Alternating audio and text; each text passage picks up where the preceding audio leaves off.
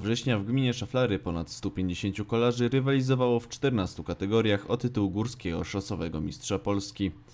Trasa ulokowana w miejscowościach Maruszyna i Skrzypne liczyła ponad 15 km długości, a dystans ten zawodnicy w zależności od kategorii, w której startowali, musieli pokonać od 2 do 6 razy. Najdłuższe przyjazdy liczyły prawie 95 km, a najlepszy czas na tym odcinku wynosił 2 godziny 47 minut.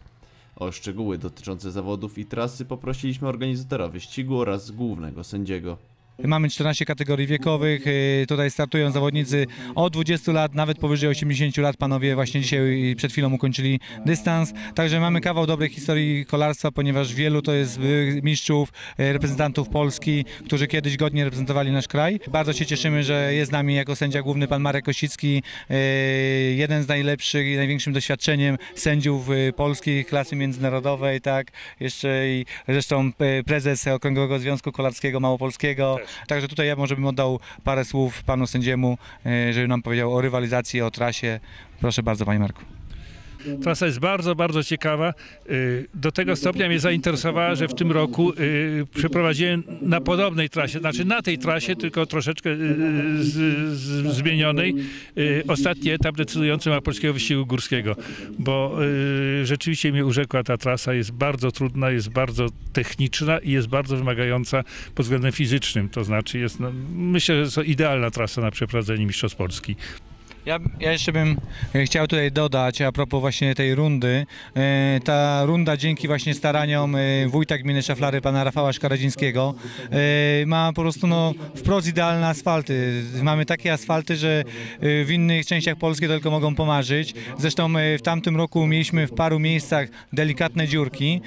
Skończyło się na tym, że pan wójt po prostu wyasfaltował ulicę Kościelną, drewniany mostek zamienił w nowy piękny mostek.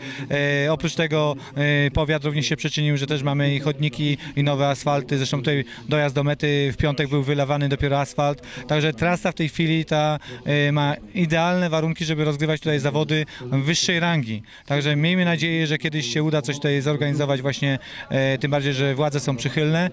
Wśród startujących kolarzy panował ogromny rozstrzał wiekowy, różnica nawet 60 lat. W kategorii mężczyzn 80 plus triumfował Jerzy Drewnik z Poznania.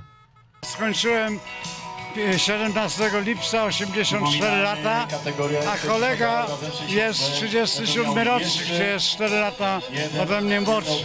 I to jest mój drugi e, tutaj, drugie zwycięstwo, bo w zeszłym roku wygrałem e, z dwoma kolegami.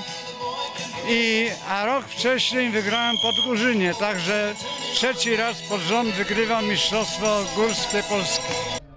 Zwyciężczynią kategorii K30 na dystansie 45 km została Sylwia Szafraniec. O wrażeniach z trasy opowiedziała naszej telewizji.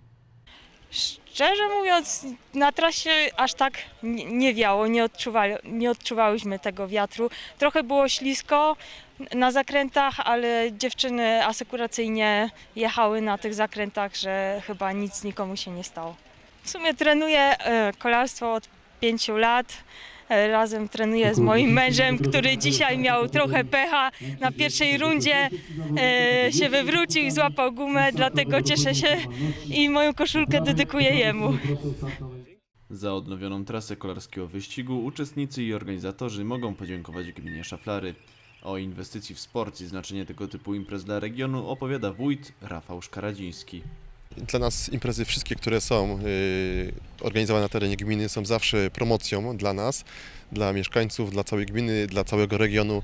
Tak widzimy dzisiaj podczas y, Mistrzostw Polski Masters y, w kolarstwie górskim przyjeżdżają y, zawodnicy z całego kraju, są to byli zawodowcy, są to zawodnicy posiadający licencje, także te osoby dalej przenoszą informacje, jak pięknie u nas się jeździ, jak warto, warto po co przyjechać, warto naszymi, naszymi trasami się przemieszczać, także warto przyjechać do, do gminy Szaflary.